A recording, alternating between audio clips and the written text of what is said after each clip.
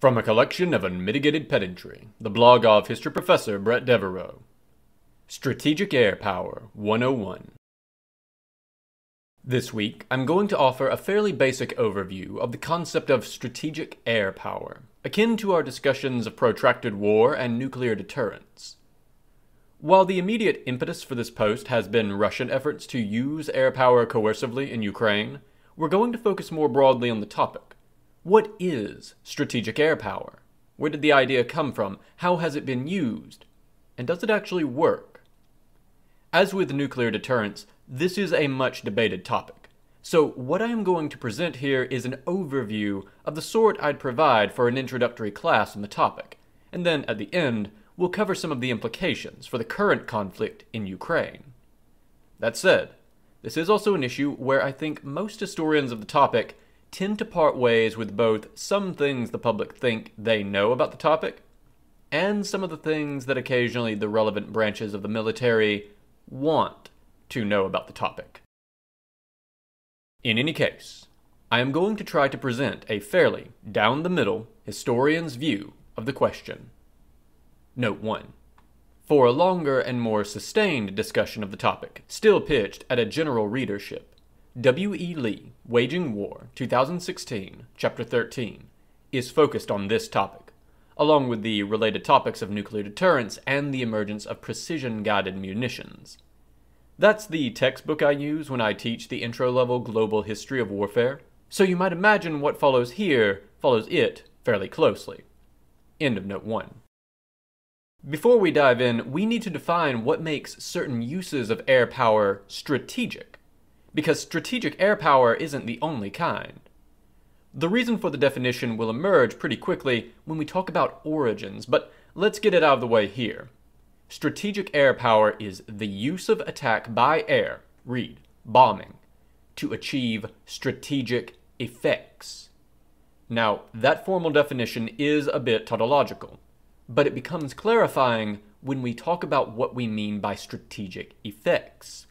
These are effects that aim to alter enemy policy or win the war on their own. Put another way, if you use aircraft to attack enemy units in support of a ground operation, like an invasion, that would be tactical air power. The air power is a tactic that aims to win a battle, which is still primarily a ground or naval battle. We often call this kind of air power close air support, but not all tactical air power is CAS. If you instead use air power to shape ground operations. For instance, by attacking infrastructure like bridges or railroads, or by bombing enemy units to force them to stay put, often by forcing them to move only at night. That's operational air power. The most common form of this kind of air power is interdiction bombing, which aims to slow down enemy ground movements so that friendly troops can outmaneuver them in larger scale, sweeping movements. By contrast, strategic air power aims to produce effects at the strategic, that is, topmost level on its own. Sometimes that is quite blunt. Strategic air power aims to win the war on its own without reference to ground forces, or at least advance the ball on winning a conflict or achieving a desired end state. That is, the air power may not be the only thing producing strategic effects. Of course, strategic effects can go beyond winning the war. Coercing or deterring another power are both strategic effects as well, forcing the enemy to redefine their strategy. That said, as we'll see, this initially very expansive definition of strategic air power really narrows quite quickly. Aircraft cannot, generally, hold ground, administer territory, build trust, establish institutions, or consolidate gains. So using air power rapidly becomes a question of what to bomb, because delivering firepower is what those aircraft can do. As an aside, this sort of cabined definition of air power, and thus strategic air power, has always been frustrating to me. It is how air power is often discussed, so it's how I am going to discuss it, But of course, aircraft can move more than bombs. Aircraft might move troops, that's an operational use of air power, but they can also move goods and supplies. Arguably, the most successful example of strategic air power use anywhere, ever, is the Berlin Airlift, which was a pure air power operation that comprehensively defeated a major Soviet strategic aim. And yet the US Air Force is far more built around strategic bombing than it is around strategic humanitarian airlift. It does the latter, but the Army and the Navy, rather than the Air Force, tend to take the lead in long distance humanitarian operations. Nevertheless, that definition, excessively narrow, I would argue, is a product of the history of strategic air power. So, let's start there.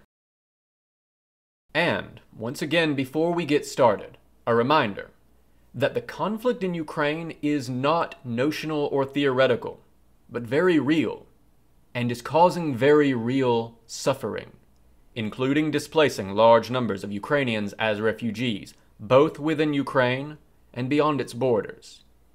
If you want to help, consider donating to Ukrainian aid organizations like Razom for Ukraine or to the Ukrainian Red Cross. As we're going to see here, air power offers no quick solution for the war in Ukraine for either party. But the recent Russian shift to air attacks on civilian centers, sadly, promises more suffering and more pressing need for humanitarian assistance for Putin's many victims. Finally, a content warning. What we're discussing today is largely, though not entirely, the application of air power against civilian targets, because it turns usually what strategic air power ends up being. This is a discussion of the theory, which means it's going to be pretty bloodless, but nevertheless, this topic ought to be uncomfortable. On with our topic, starting with the question of where the idea of strategic air power comes from. That damned trench stalemate again. In my warfare survey, I have a visual gag where, for a week and a half after our World War I lecture, every lecture begins with the same slide, showing an aerial photograph below of the parallel trenches of the First World War because so much of the apparatus of modern warfare exists as a response, a desperate need to never, ever do the trench stalemate again. And that's where our story starts. Image Aerial photograph of World War I trenches. Image description Via Wikipedia. An aerial view of trench lines around Loos and Hulluch in 1917. End of image description. Fighting aircraft as a technology in World War I were only in their infancy. On the one hand, the difference between the flimsy, unarmed artillery scout planes of the war's early days and the purpose built bombers and fighters of the war's end was dramatic. On the other hand, the platforms available at the end of the war remained very limited. Once again, we can use a late war bomber like the Farman F 50 introduced too late to actually do much fighting in World War I, as an example of the best that could be done. It has a range of 260 miles, too short to reach deep into enemy country, and a bomb load of just 704 pounds. Worse yet, it was slow and couldn't fly very high, making it quite vulnerable. It is no surprise that bombers like this didn't break the trench stalemate in World War I or win the war. Image Photograph of a Farman F 50. Image description Via Wikipedia, a Farman F 50 in the United States Army Air Service, though the Farman was a French design. Introduced in 1918, this was one of the most advanced Allied bombers in the war. End of image description. However, anyone paying attention could already see that these key characteristics range, speed, ceiling, and the all important bomb load were increasing rapidly. And while the politicians of the 1920s often embraced the assumption that the war to end all wars had in fact banished the scourge of war from the earth, or at the very least, from the corner of it they inhabited, such that war would now merely be a thing they inflicted on other poorer, less technologically advanced peoples. The military establishment did not. European peace had always been temporary. The Peace of Westphalia, 1648, and the Congress of Vienna, 1815, had not ended war in Europe. So why would the Treaty of Versailles, 1919? There had always been another war, and they were going to plan for it. And they were going to plan in the sure knowledge that the bombers the next war would be fought with would be much larger, faster, longer ranged, and more powerful than the bombers they knew. One of those interwar theorists was Giulio Douhet, 1869 to 1930, an Italian who had served during the First World War. Douhet wasn't the only bomber advocate or even the most influential at the time, in part because Italy was singularly unprepared to actually capitalize on the bomber as a machine. Given that it was woefully under industrialized, and bomber warfare was perhaps the most industrial sort of warfare on offer at the time, short of naval warfare. But his writings exemplify a lot of the thinking at the time, particularly his The Command of the Air, 1921. Note 2. Il dominio dell'aria. If that title sounds like it is echoing A.T. Mahan's concept of command of the sea, that's because it is. End of note 2.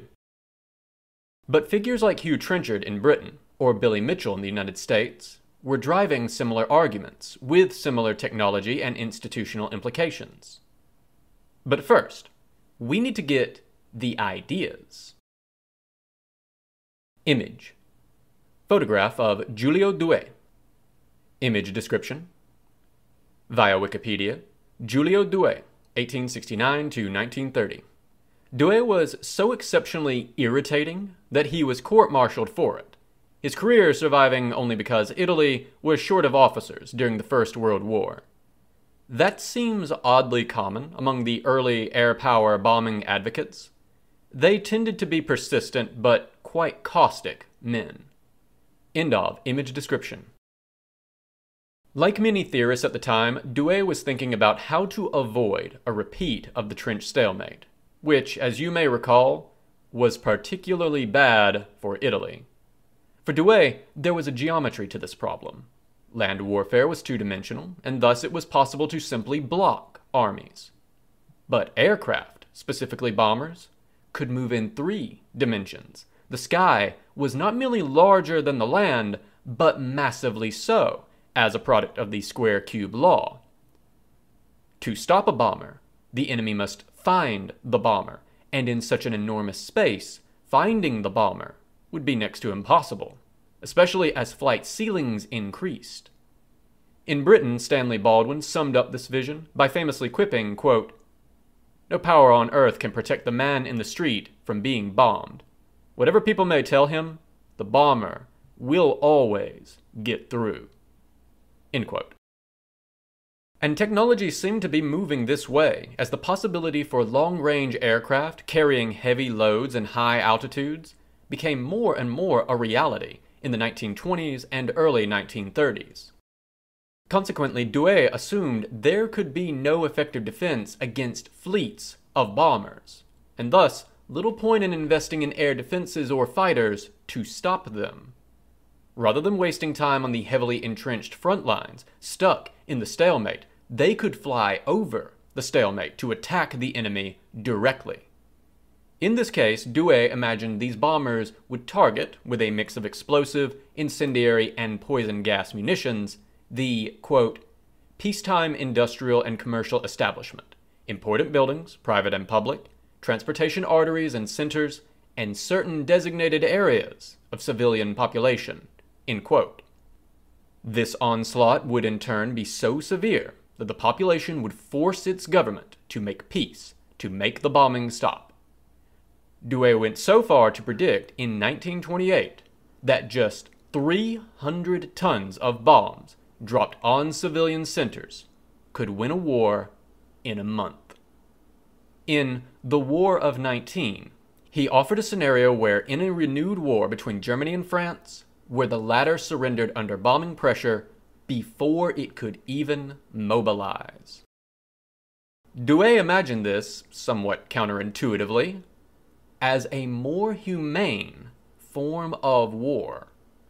While the entire effort would be aimed at butchering as many civilians as possible, he thought doing so would end wars quickly, and thus result in less death. Clever ideas to save lives by killing more people are surprisingly common, and unsurprisingly, rarely turn out to work. Assumptions and institutions. Now, before we move forward, I think we want to unpack that vision just a bit, because there are actually quite a few assumptions there. First, Douhet is assuming that there will be no way to locate or intercept the bombers in the vastness of the sky, that they will be able to accurately navigate to and strike their targets, which are, in the event, major cities, and be able to carry sufficient explosive payloads to destroy those targets. But the largest assumption of all is that the application of explosives to cities would lead to collapsing civilian morale and peace. It was a wholly untested assumption, which was about to become an extremely well tested assumption. But for Douhet's theory to work, all of those assumptions in the chain lack of interception, effective delivery of munitions, sufficient munitions to deliver, and bombing triggering morale collapse needed to be true.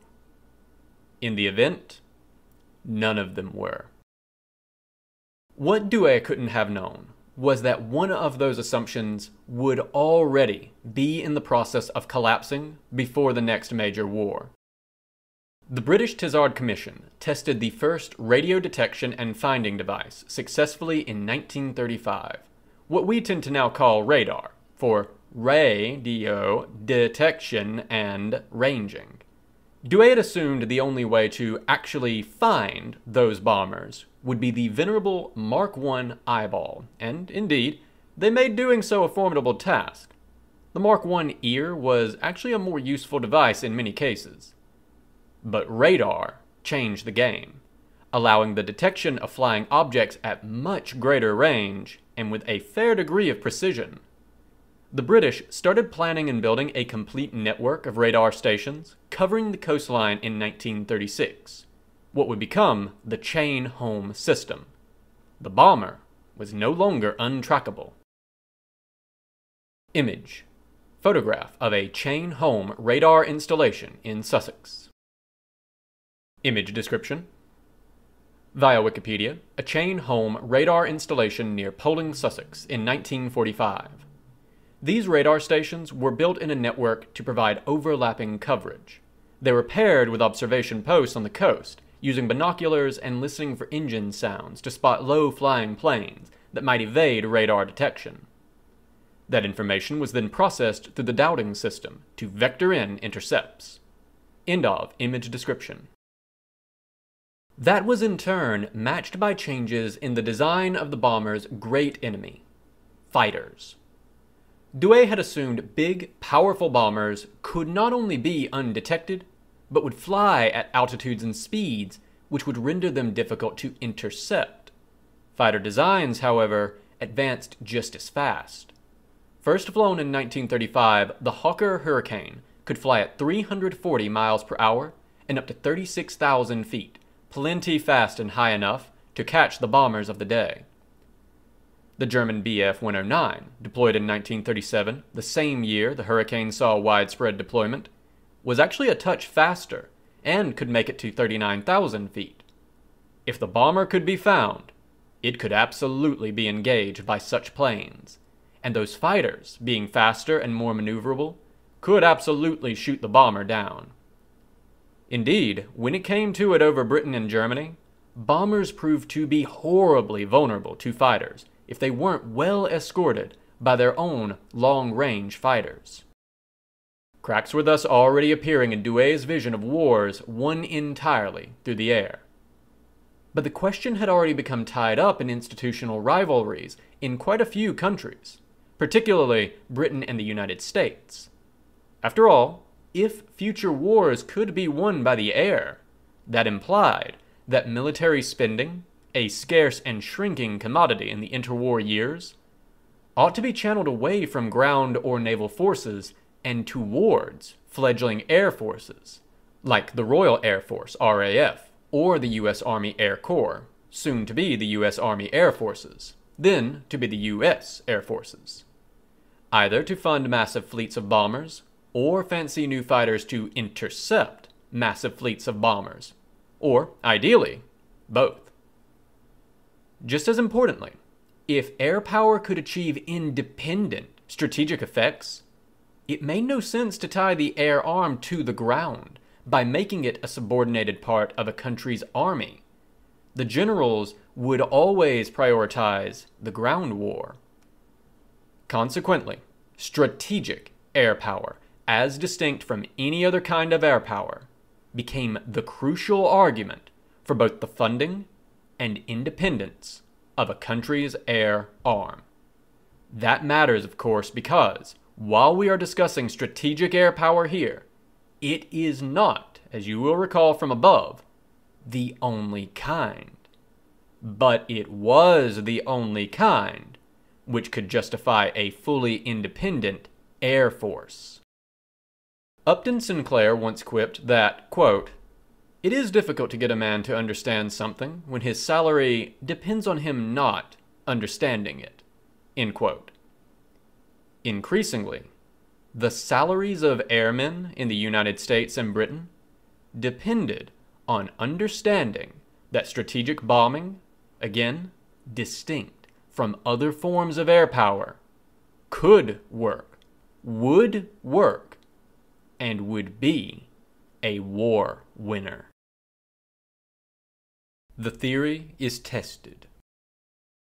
The Second World War provided the opportunity for the theory to be tested, frankly, to destruction. To the destruction of quite a lot of things, the theory included. Nazi Germany conducted the first terror bombings, note 3, of the war in Europe, not in general. Terror bombing itself was not new at this point, having been done all the way back in World War I with Zeppelins. End of note 3. That is, bombing attacks on civilian targets designed to sow fear and demoralize the enemy against Poland in the opening hours of the war. Though, in the event, the collapse of the badly outnumbered and outgunned Polish army on the ground made the Nazi terror bombings, like most of what the Nazis did, an exercise in pointless, excessive cruelty. Instead, the first real test of the theory came in an odd form the Battle of Britain, July to October 1940. The oddity here is that the ostensible initial goal of German air operations against Britain was not to compel surrender by demoralizing the populace, but rather to open Britain to the credible threat of invasion by destroying the Royal Air Force and prohibiting the Royal Navy from operating within range of German air bases. In this sense, it would have been the threat of a land invasion which would have achieved the strategic effect, with air power merely enabling that operation. That, of course, isn't how it turned out. While the Luftwaffe initially began with attacks against shipping, progressing to attacks on air bases and air production, Beginning in August 1940, the Luftwaffe began escalating attacks on civilian areas. The degree to which that was intentional remains contested. The British responded with bombing raids against Berlin, at which point Hitler and Goring retaliated with an intensive campaign of urban bombing which would become known as the Blitz. Hitler would claim these attacks were reprisals, Vergeltungsangriffen, revenge attacks, for the British bombing Berlin, which was frankly pretty rich hypocrisy coming from the fellow who had terror bombed the Poles in 1939. Note 4. I think it is really worth stressing. Both Germany and Japan were using terror bombing well before they were targeted by it. The Germans against Poland and the Japanese in China. One can argue that bombing civilians is nevertheless immoral in all cases, just as one might argue that no one should ever stab someone with a knife in a bar. However, if a fellow draws a knife in a bar and begins stabbing the patrons, it is hardly reasonable for that same fellow to cry foul play when the other patrons draw their knives and just so happen to have much bigger knives. It is at that point too late for the first fellow to opine on the fundamental incivility of knifing people. End of note 4. But that progression brings an interesting distinction here between intentional strategies of using bombing to collapse morale and the reversion to civilian bombing as pure punishment. As we'll see, it is a predictable human response when an effort is failing to attempt to punish the opponent for the temerity of not losing. This behavior is especially pronounced in personalistic dictatorships but certainly not restricted to them. Naturally, bombing against civilian targets, since its introduction, has often been the means of this sort of punishment response. More broadly, this kind of thing fits into the error of emotive strategy, which we've discussed before. Image Aerial photograph of a German He 111 bomber. Image Via Wikipedia, a German He 111 bomber flying over London's East End on September 7, 1940. End of image description. Nazi strategic incoherence aside, the Blitz was revealing in quite a few ways. First, it demonstrated quite effectively that the bomber would not in fact always get through, or more correctly, that a defender could inflict meaningful attrition on bombers through ground based anti air and, even more importantly, fighter intercept. Radar, in the form of the chain home system, was particularly important for allowing interceptors to be concentrated on incoming bomber formations rather than having to disperse to search the sky. Second, German efforts to put bombs on specific industrial targets were, if you will pardon the pun, decidedly hit or miss. Moreover, it turned out that destroying a city required a lot more bombs than anyone had anticipated. The Luftwaffe dropped about 40,000 tons of bombs on London during the Blitz. 133 times. Note 5. This figure is going to keep going up to increasingly incredible degrees. End of note 5 the quantity Douhet thought would compel a country to surrender, and didn't manage to permanently destroy or even substantially hinder the city. British production rose over the period, albeit more slowly than it might otherwise have. But perhaps most ominously for the theory, the Blitz didn't seem to have meaningfully dampened British morale. Indeed, to the contrary, and get ready to hear this phrase a lot being bombed hardened civilian will to resist. This hardly discredited the theory, though, least of all among the British, or the soon to be in the war Americans, who promptly decided to test it themselves. The theory is tested again. The Royal Air Force and the United States Army Air Forces, USAAF, both conducted strategic bombing campaigns against Germany during World War II, though along ostensibly different principles. In the United States, an air campaign expressly aimed at killing German civilians to compel surrender was politically unpalatable. There were fewer such compunctions against doing this to Japan, due in no small part to racism.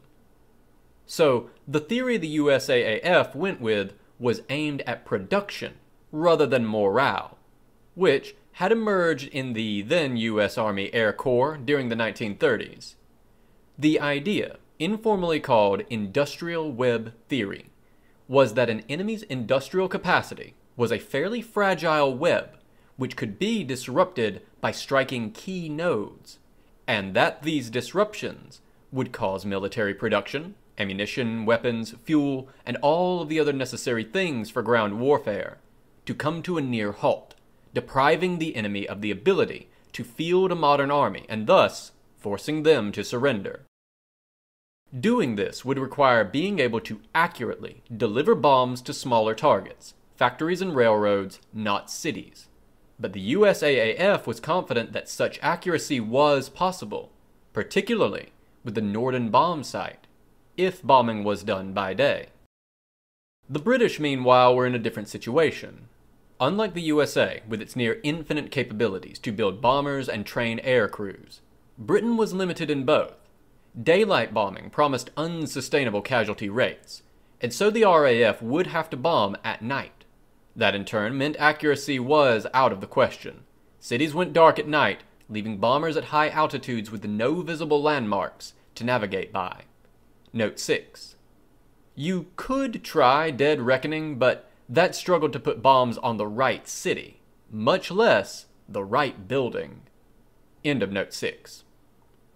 Meanwhile, the experience of the Blitz had left British politicians and the public with far fewer qualms about morale bombing, an Allied euphemism for terror bombing, in return.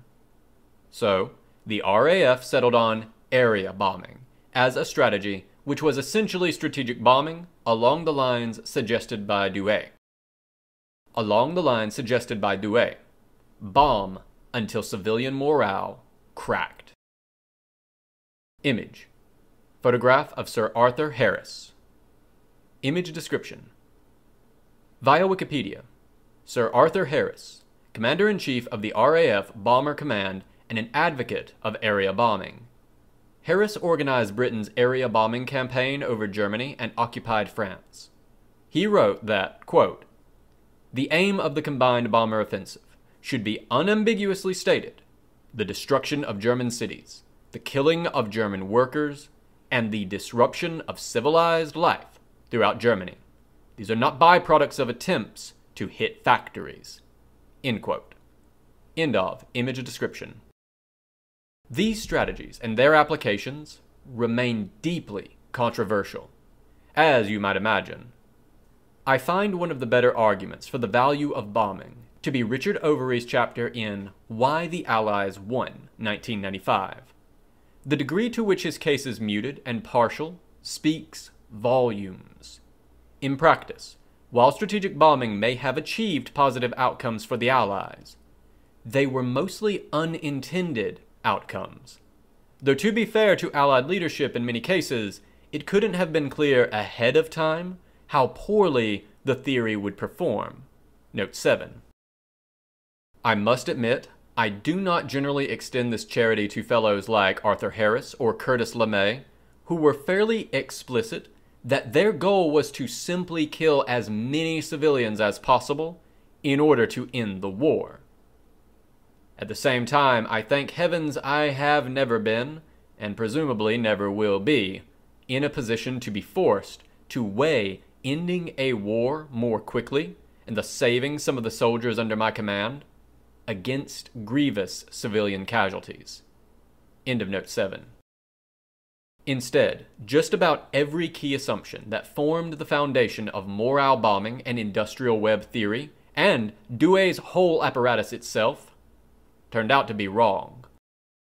First, the accuracy to enable pinpoint targeting of industrial facilities simply wasn't there. By way of example, drawn from the chapter on strategic bombing in Lee, Waging War 2016. In 1944, the Allies attempted from May to November in a series of raids to destroy an oil plant in Leuna, Germany. The plant was 1.2 square miles in total size, and yet 84% of all bombs missed. In the USAAF, the problem of accuracy led to a shift in tactics, from aiming for factories to area bombing intended to dehouse workers, which is an incredibly bloodless euphemism for daylight bombing raids against dense urban housing. Consequently, industrial damage was far less than was hoped. Instead of falling, German production continued to rise. Indeed, it tripled until territorial losses to the advancing Soviet and Allied armies finally curtailed production. Overy argues, persuasively, I think, that bombing did serve to stunt German production growth, but the strategic effect of disabling German industry to the point that the war couldn't be continued was wildly, overwhelmingly out of reach. The opponent could, after all, react, dispersing and protecting industry, limiting the impact of bombing campaigns. Industrial bombing thus achieved something, but it is unclear if it achieved anything to be worth the tremendous investment in vast fleets of bombers necessary to do it. Meanwhile, it rapidly became apparent that the unescorted bomber would most certainly not always get through. The Allies lost some 37,000 aircraft in the strategic bombing campaign. Now, as Overy notes, this actually led to one of the unintended successes of the effort. American and British bombers diverted massive amounts of German aircraft and anti air artillery away from the Eastern Front, where the Germans badly needed it. By the end of 1943, there were 55,000 AA guns, including 75% of the 88mm guns, which were very effective anti tank guns as well, while German aircraft production shifted over to primarily producing fighters, with bomber production falling from 50% of the total in 1942 to just 18% in 1944. And even then, Germany simply could not match American production potential, especially as long range escorts became available. In practice, one of the most important contributions of the strategic bombing effort was, ironically, luring the Luftwaffe into the air where it could be destroyed. The effort of trying to stop the bombers essentially wore the Luftwaffe down to a nub greatly easing the path of ground operations, including the D Day invasion. This was very much not the intended outcome of operations, but perhaps the most useful thing strategic bombing accomplished in the war. Image Aerial photograph of a bombing raid on the Schweinfurt ball bearing factory. Image description via Wikipedia a photograph of the 1943 U.S. Army Air Force raid on the Schweinfurt ball bearing factory. Note that despite the relatively clear conditions, the destruction is spread over dozens of city blocks around the factory. While the Norden bomb sight was better than what had come before, in combat conditions, it simply was not up to the task of putting bombs on factories from high altitude. Finally, in the aftermath of the war, efforts to survey the morale impact of the bombing largely concluded that, wait for it, being bombed hardened civilian will to resist.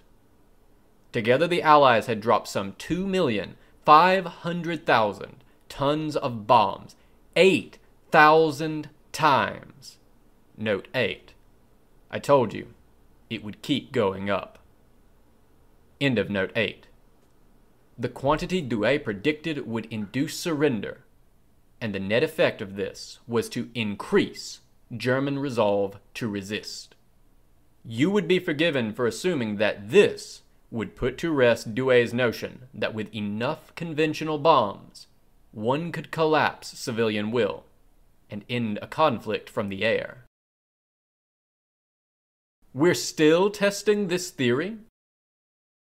Despite this, industrial web theory promptly became the doctrinal core of the newly independent United States Air Force in 1947.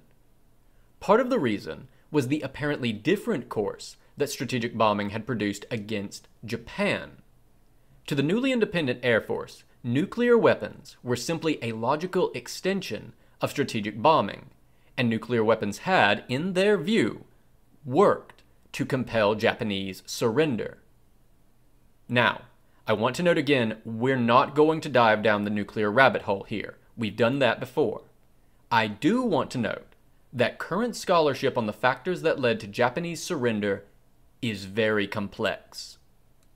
Whatever simple summary of it you have heard, either that the atomic bombs definitely did or definitely did not lead directly to Japanese surrender, is almost certainly wrong, given the complexity of the question.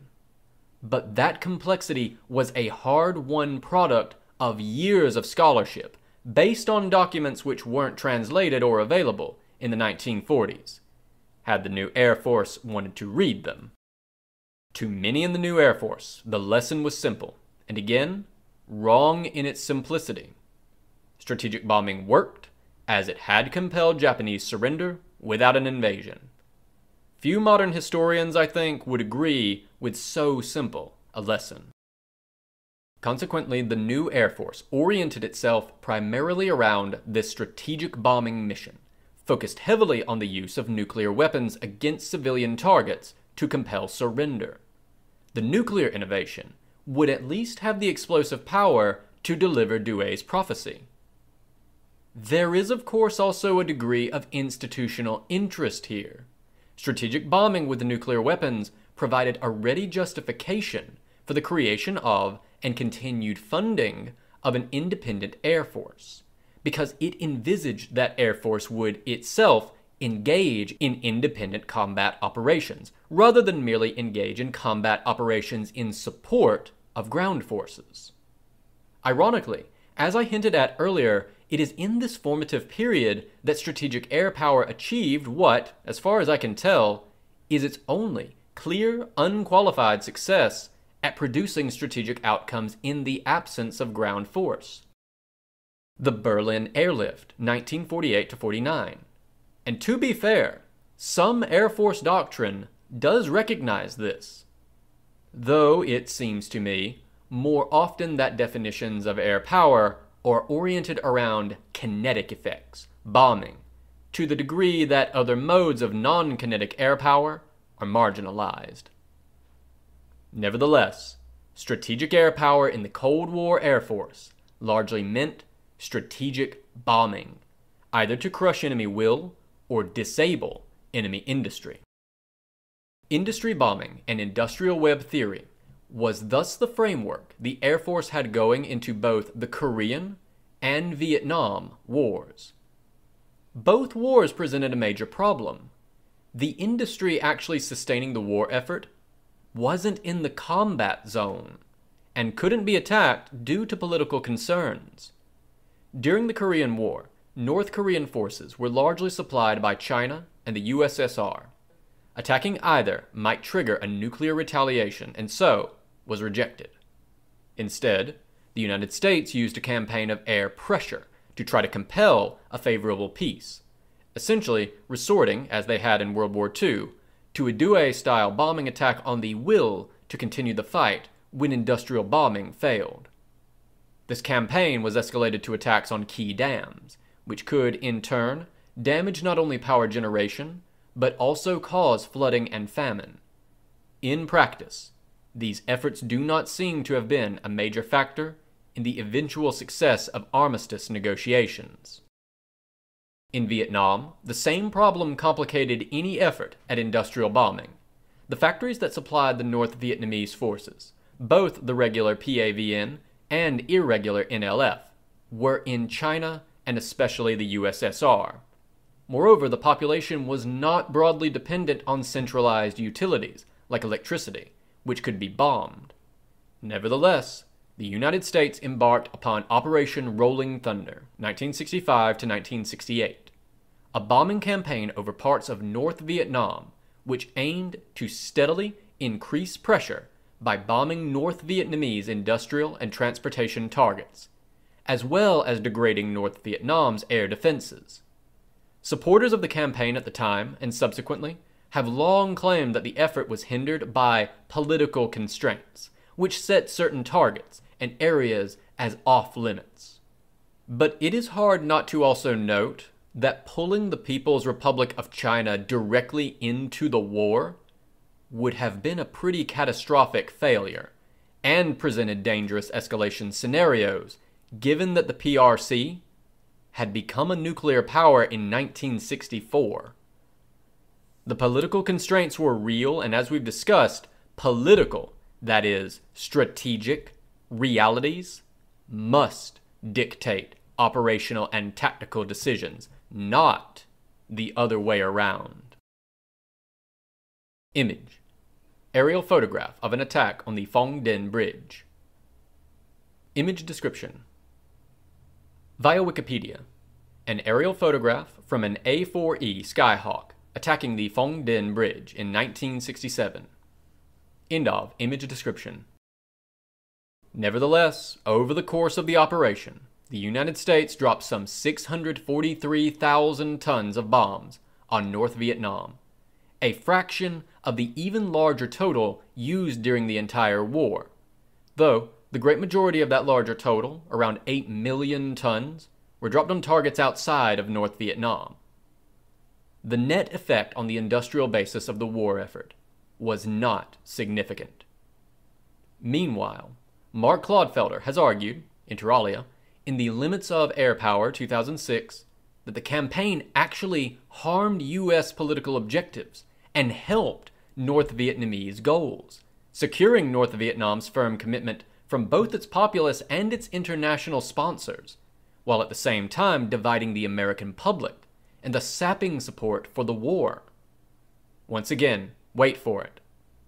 Being bombed hardened civilian will to resist. But maybe it could work for us. Subsequent efforts in Vietnam may have been more successful. Linebacker, a bombing campaign in 1972 aimed primarily at interdicting the transportation of supplies from North Vietnam to the fighting in South Vietnam, helped to force North Vietnam to peace talks. A second operation, creatively named Linebacker 2, also 1972, was also used when talks stalled to try to compel North Vietnamese leadership to compromise.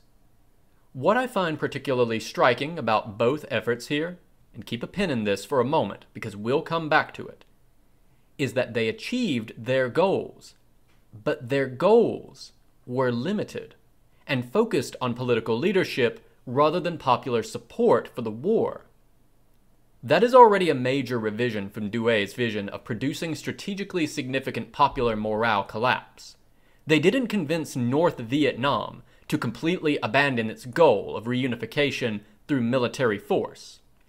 That would happen just three years later in 1975.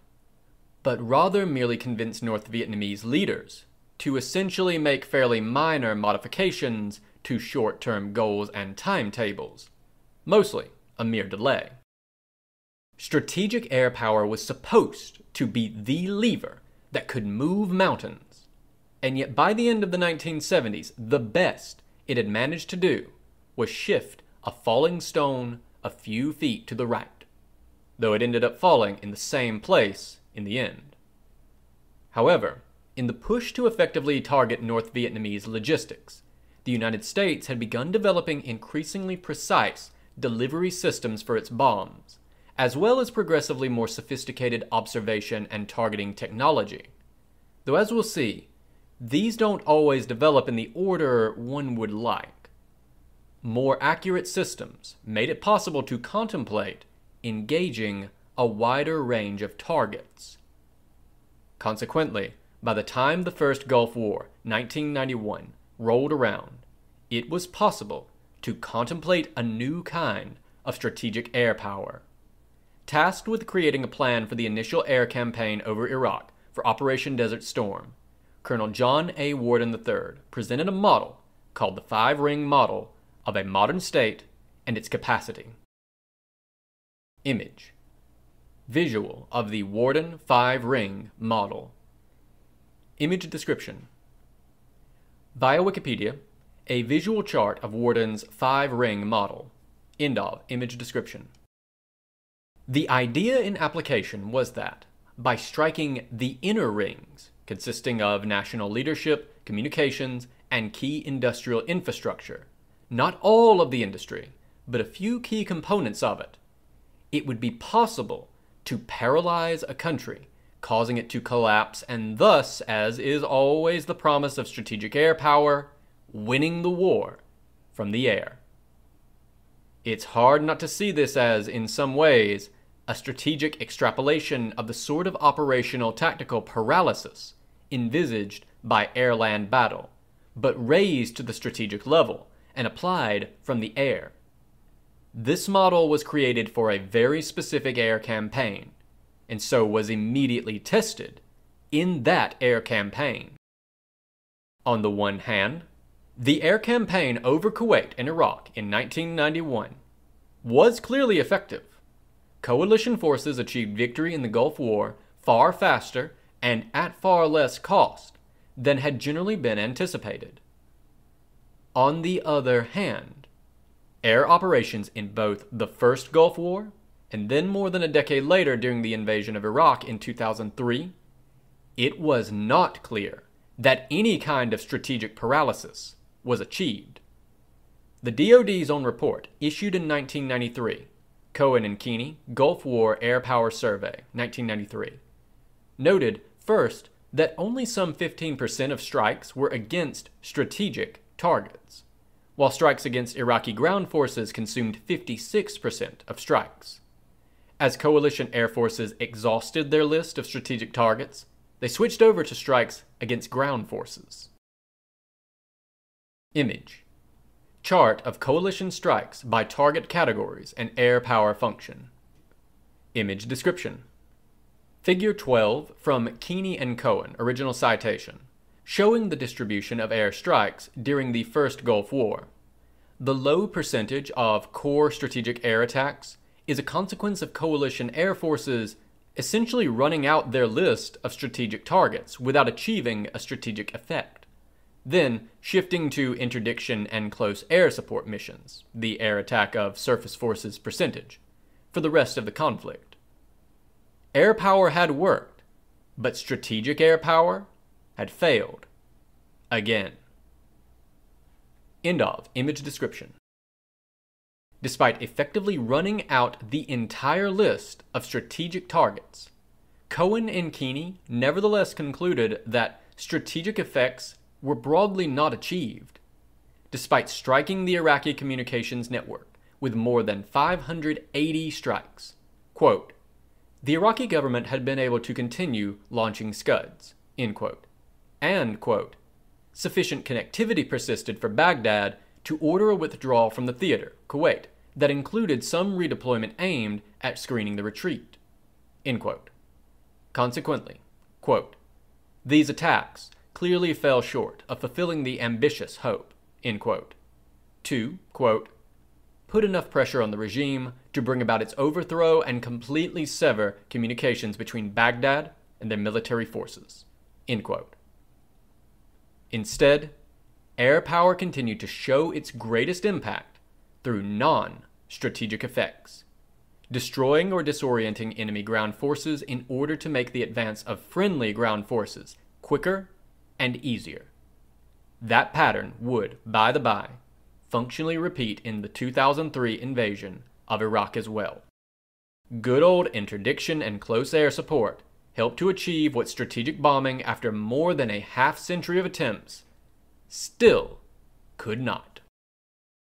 The other common examples of the strategic use of air power are the two NATO interventions against Serbia, first over Bosnia and Herzegovina in 1995, and then in response to Serbian ethnic cleansing in Kosovo in 1999.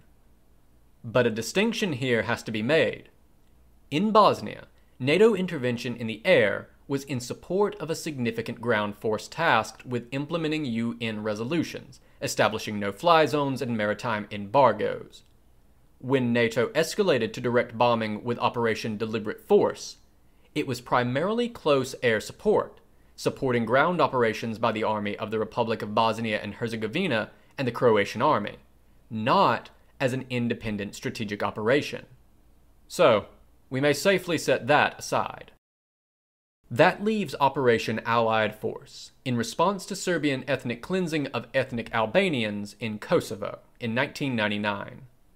As Mary Elizabeth Walters, an expert in this particular conflict, noted recently on Twitter, the air campaign was initially aimed at degrading the Serbian military's ability to function, but rapidly switched to bombing dual use infrastructure in an effort to coerce Slobodan Milosevic. While civilian casualties absolutely happened, and there were a series of serious mistakes in targeting or timing, this was not an attempt at Douhet style morale bombing.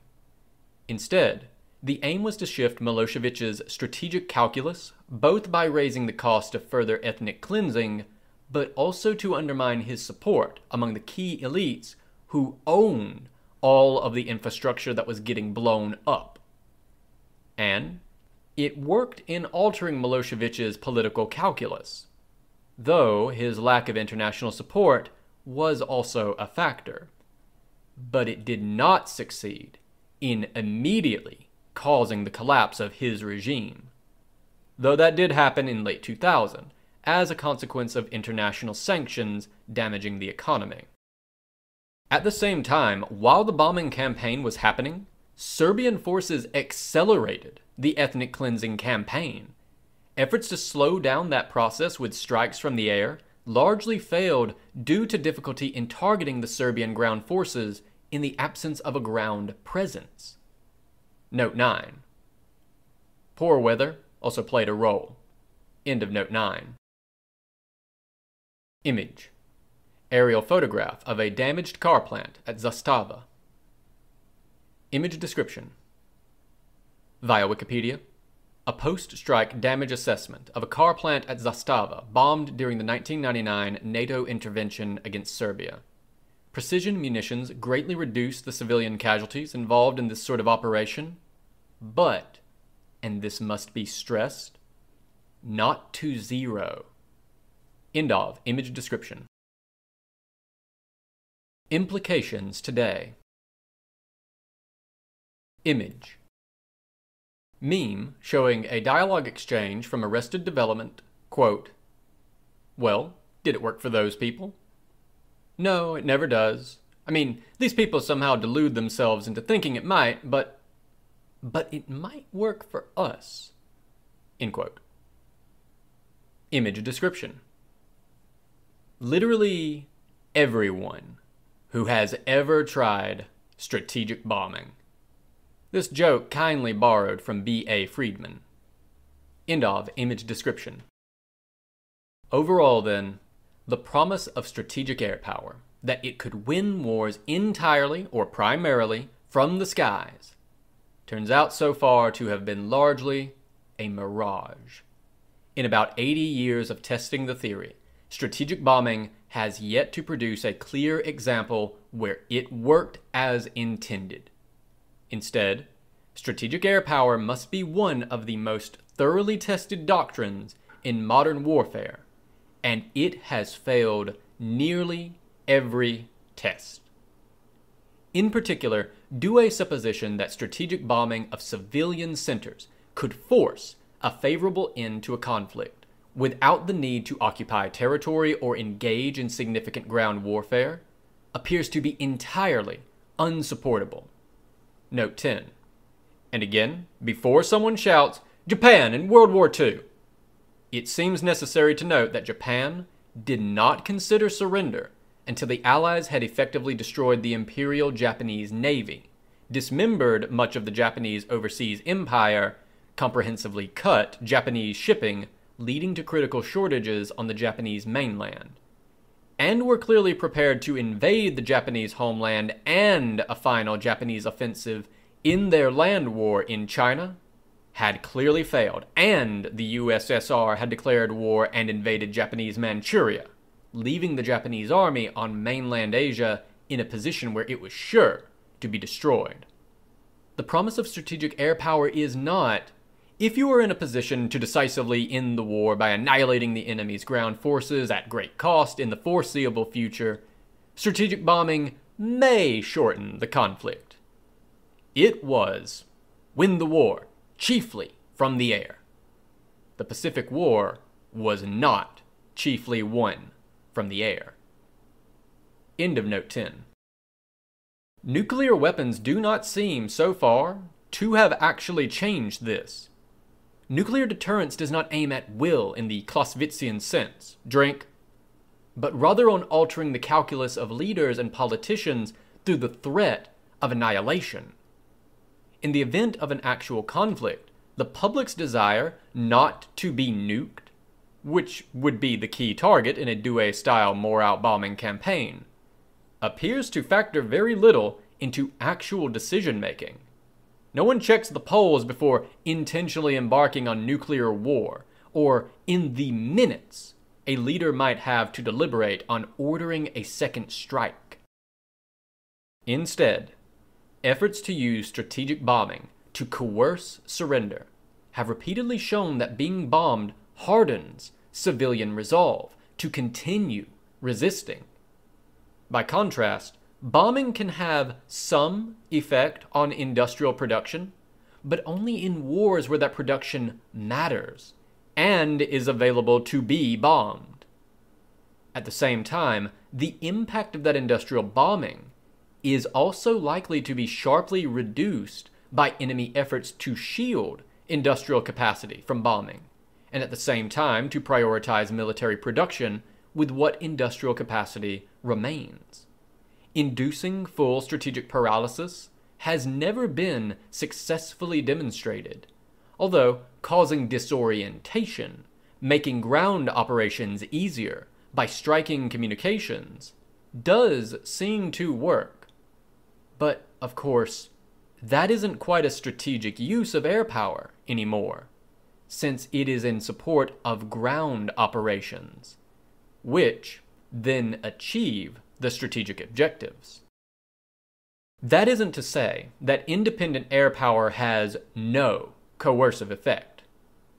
However, the coercive effect seems to be substantially more limited than the coercion available to ground forces or naval forces for island nations, which makes sense given the greater ability of ground forces to remove resources from the enemy state. After all, a bombed city has its production cut by some percentage, but a captured city produces no support for its former regime. That limited coercive effect is fairly clearly displayed in the linebacker operations, which convinced North Vietnam to delay but not abandon its plans for the conquest of the South. Crucially, the coercive effect of these bombing efforts is not only limited, but it is also not delivered via popular will, but rather through the political calculus of the leadership. Again, politics, not will in the Clausewitzian sense. Drink. Balancing the costs of sustaining aerial bombardment against the benefits of holding out. Since those costs tend to be limited compared to ground conquest, the concessions these leaders are willing to make are also limited. The use of strategic air power to coerce can deflect, but not reverse, policy. But under conditions where a stronger power aims only to produce limited concessions from a weaker power, there is some promise in the use of air power to create that deflection. However, the repeated mistake militaries have made is attempting to use air power as the lever to force major concessions or even total capitulation. The leverage for this appears to be nowhere near good enough. So, why does strategic bombing, especially terror or morale bombing, seem so resilient as an idea in so many militaries? Well, the first answer goes back to institutional incentives and how the salaries of a great many aviators depend on not understanding just how weak a strategy strategic air power is. The purpose of our air forces is to win wars, is a much better argument to take to political leaders for funding than the purpose of our air forces is to support our ground forces. The latter implies that the ground forces should set priorities, and that the air forces ought to, for the most part, subordinate their efforts to those priorities. And of course, given the choice of priorities, ground forces will tend to prioritize ground forces, with deleterious career and prestige outcomes for everyone else. Combine this with the fact that the sort of folks who join a military's air branch, any military's air branch, are going to tend to be the sort of people who already believe in air power. And it isn't hard to see how strategic air power, as distinct from other forms of air power, rapidly becomes a solution in search of a problem. The second answer seems to be that strategic air power is both intuitive and tempting. It is intuitive in that it makes a certain immediate sense, even though, like many intuitive things, it is not really true. Nevertheless, it feels like it should work. And moreover, and this is the tempting bit, it would be really nice for some decision makers if it did work, since it would offer the promise of exerting a lot of strategic leverage without risking the casualties and unpredictable messiness of ground operations. It might shorten horrible wars or even bring an end to war itself. Of course, in practice, it appears capable of neither of those things. And so the answer of, we can bomb the problem away, is always going to have an essential appeal, even though it isn't true. While the institutional incentives above practically guarantee that there will always be someone in the room who has an interest in believing and advocating for that solution. Finally, and this is where I think we come back to the war in Ukraine. Strategic bombing is emotionally satisfying, even as it doesn't work. It is a human instinct when another human is doing something you don't like, like refusing to lose on the battlefield, to retaliate, to punish that person. Strikes on civilian centers are perhaps the purest expression of this instinct, inflicting maximum pain because civilian centers, unlike actual military targets, are not hardened against attack at a minimum of risk and cost. We've discussed this strategic sin before, terming it emotive strategy. But humans are emotional beings, and so the temptation to punish rather than pursue interests in a rational way will always exist. Russian forces in Ukraine appear to follow this pattern of behavior emotive strategy quite clearly, responding to setbacks with intensified long range attacks on civilian centers. After the Kharkiv offensive stalled out, Russian forces began pounding the city with artillery in strikes that did more damage to civilians than the defenders of the city. Likewise, Russian airstrikes against explicitly humanitarian or civilian buildings escalated in Mariupol as the difficulty of taking the city escalated.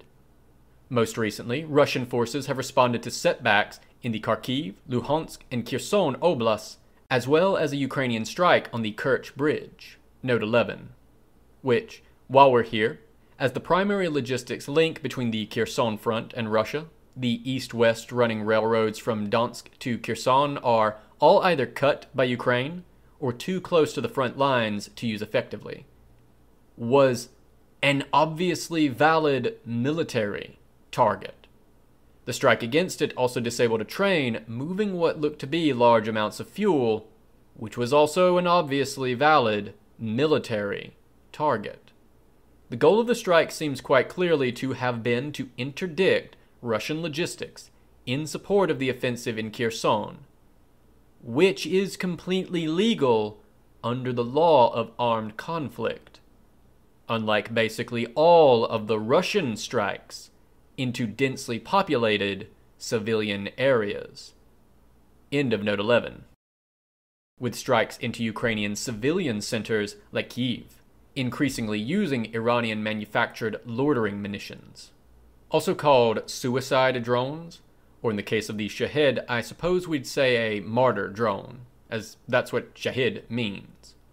Like the Shahed 136.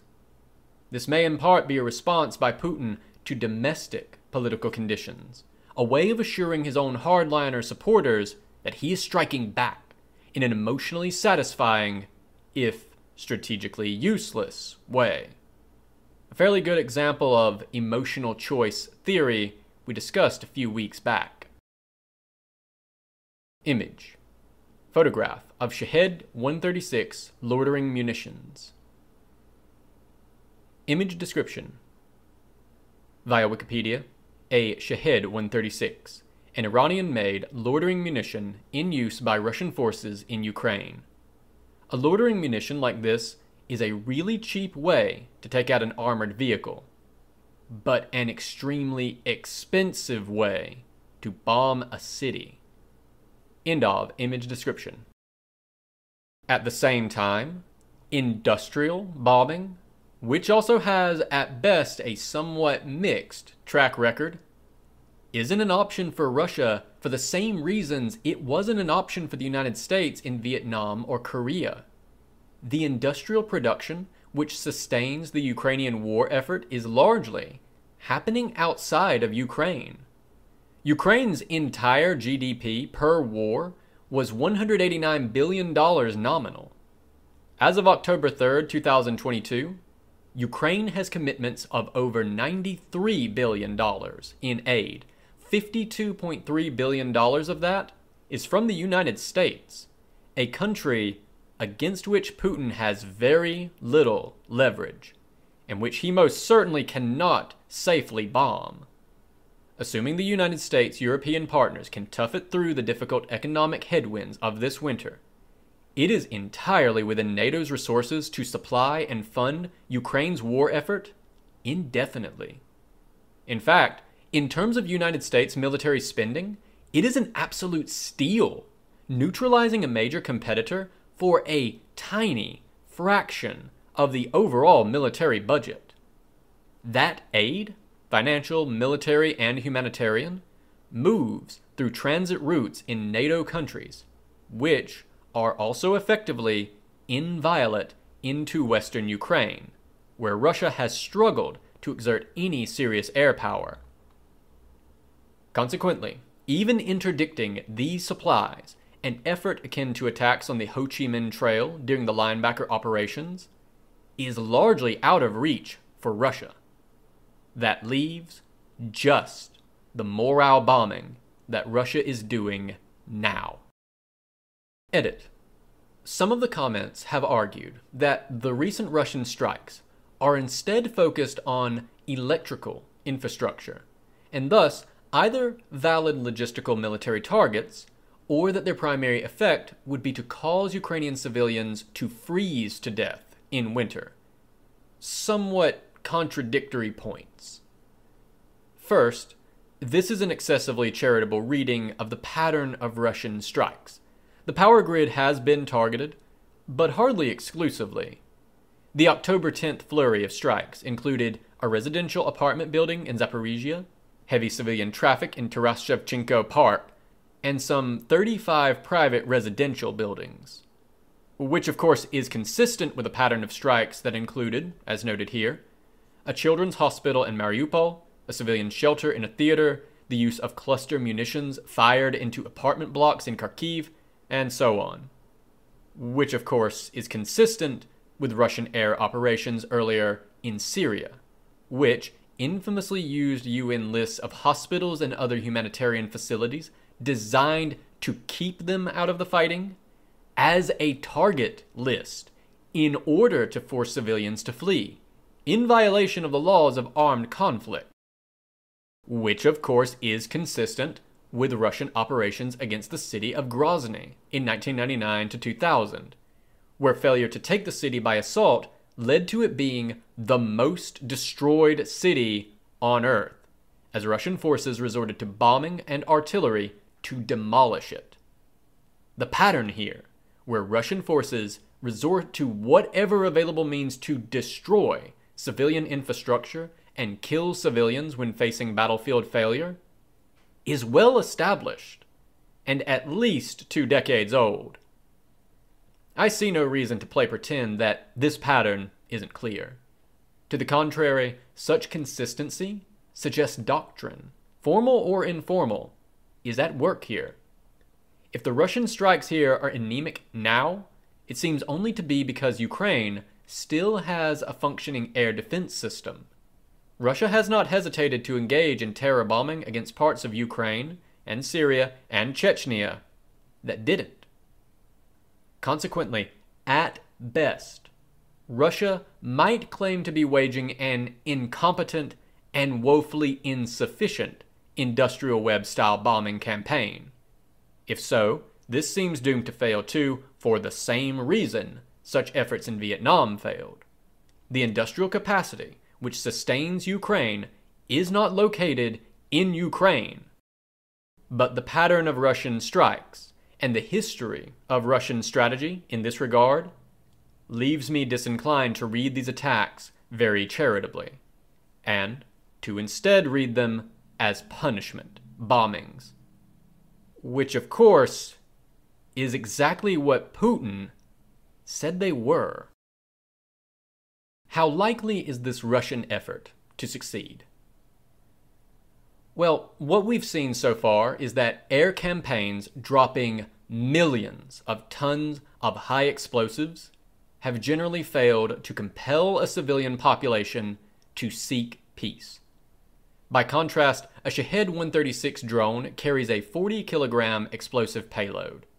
By comparison, that means it would take 90 Shahed 136 drones to equal the payload of a single B 17 Flying Fortress, and 88,000 to equal the explosive power of the February 1945 raids against Dresden. Those are efforts which I feel the need to stress didn't work to collapse German civilian morale. Meanwhile, the Shahed 136, while very cheap as a drone, is very expensive as a bomb. At roughly $20,000 a pop, matching the Dresden raids would require almost $2 billion, assuming the production capacity for that many drones existed. And it doesn't. As Russia's distance from Ukraine's key civilian centers grows, the cost of delivering explosives to them increases. Note 12. Tube artillery is cheaper but shorter range than rocket artillery, is cheaper but shorter range than cruise missiles and jets, and so on. The ratio of explosive to expensive things delivering the explosive shifts in favor of the latter as distance rises. End of note 12. Reducing Russia to demonstration attacks that, while horrible, have little chance of inflicting harm on Ukraine at a level that is remotely meaningful in this sort of war.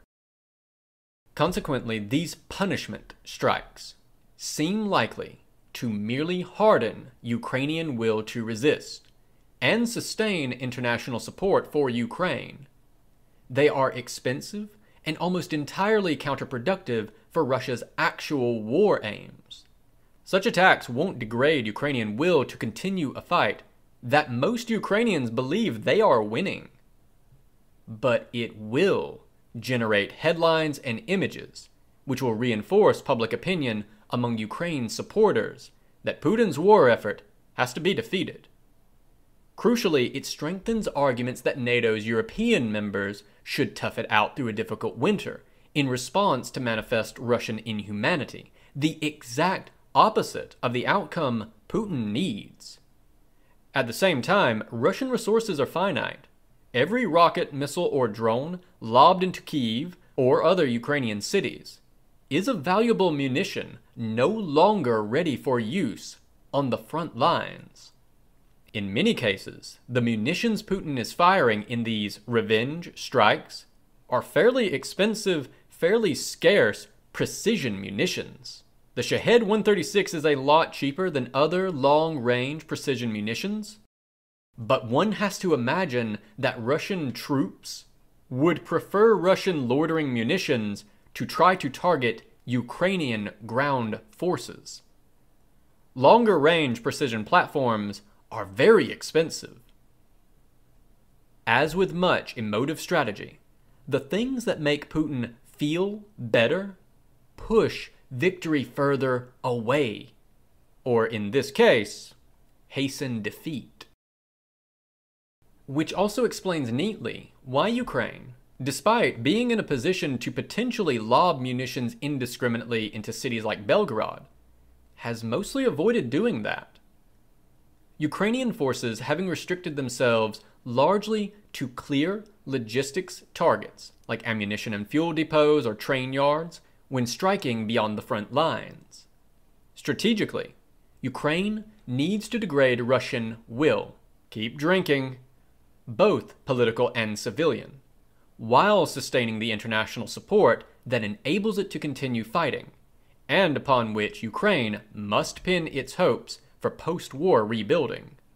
Striking civilian targets, while perhaps emotionally satisfying to some after the brutality of Russian actions in Ukraine, would run counter to these goals. It would fragment Ukraine's international support and potentially harden Russian political opinion in support of Putin and his war. Instead, Ukraine remains focused on winning the war in the field, degrading Russian morale by demonstrating that the war is unwinnable. In conclusion, then, the Russian escalation of air attacks on civilian targets seems unlikely to significantly alter the trajectory of the war beyond increasing the sum of human misery it inflicts. Morale bombing of this sort, while coming with a long history, has an extremely low, arguably zero, success rate at achieving major political concessions. The promise of achieving in the air what cannot be done on the ground continues to suffer from the simple fact that as humans do not live in the air, conditions on the ground have greater coercive power. Aircraft can only raid. They cannot occupy, and humans can tolerate a stunning amount of raiding if they believe victory is still possible on the other side of it. The promise of strategic air power remains just that a promise more frequently broken than kept. The war in Ukraine seems set to prove, once again, that strategic bombing is no substitute for battlefield success. This has been a recording from a collection of unmitigated pedantry, the blog of history professor Bret Devereaux, recorded by myself, A Great Divorce, for accessibility and sharing purposes. If you enjoyed this content and wish to engage with it or support Bret, please check the description for links to the original post on his blog, his Twitter, and his Patreon. I highly encourage you to share, support, and engage with his works on any and all platforms, if you are so inclined. If you wish to support me, please do remember to like, share, and subscribe to this or any other content here that you enjoy. Thank you so much for listening.